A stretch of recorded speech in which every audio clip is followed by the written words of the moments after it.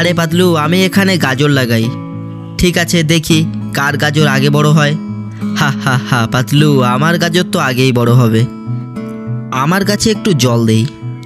আমার গাছে সব জল টল দেওয়া লাগে না ওই এমনি এমনিই বড় হবে। এই দেখো মোটু, আমার গাছে কত বড় গাজর হয়ে গেছে।